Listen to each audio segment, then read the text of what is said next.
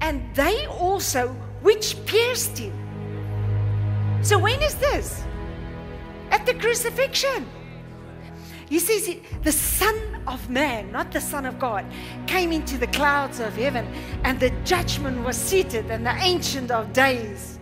To watch this full video, all you need to do is subscribe to our VOD platform spiritword.tv and you'll have access to thousands of videos. Be blessed.